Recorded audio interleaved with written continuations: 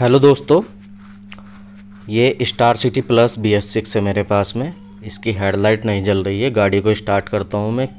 Self से start भी नहीं हो रही है गाड़ी।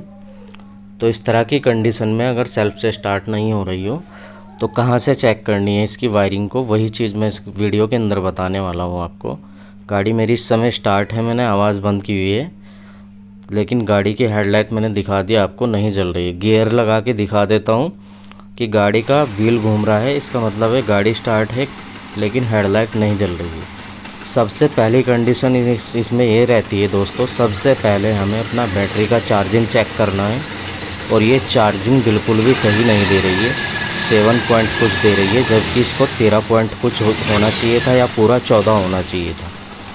अगर आपकी गाड़ी सेल्फ से स्टार्ट नहीं हो रही है लाइट नहीं जल रही है तो उस कंडीशन में आपको सबसे पहले बैटरी का चार्जिंग चेक करना है दोस्तों।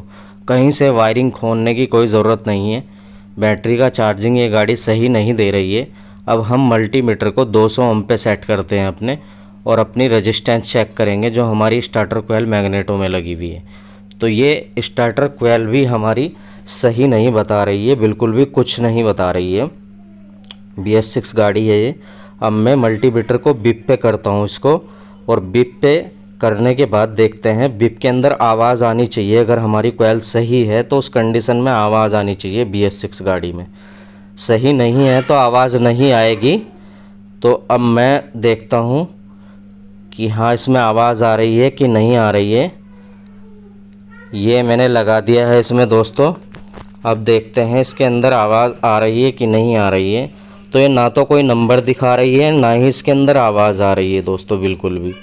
तो यानी कि ये श्योर हो गए हैं कि इसके मैग्नेट की कोयल ख़राब है मैग्नेटों के अंदर प्रॉब्लम है।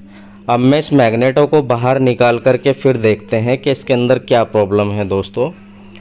कई बार होता है वन वे वगैरह टूट जाता है, लेकिन गाड़ी में आवाज़ तो नहीं आ रही है।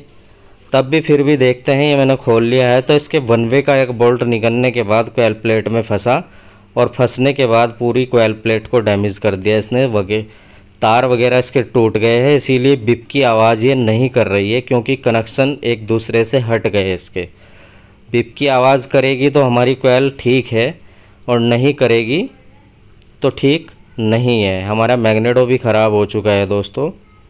इस कंडीशन में आपको गाड़ी को इसी तरीके से चेक करना है, अगर आपकी लाइट नहीं जल रही है, और गाड़ी सेल्फ से स्टार्ट भी नहीं हो रही है, क्योंकि बैटरी चार्ज नहीं होगी तो वो डाउन हो जाएगी दोस्तों।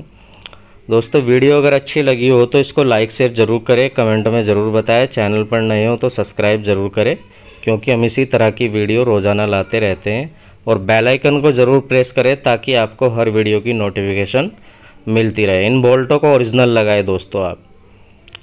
तो ठीक है दोस्तों थैंक यू मिलते हैं नेक्स्ट वीडियो में।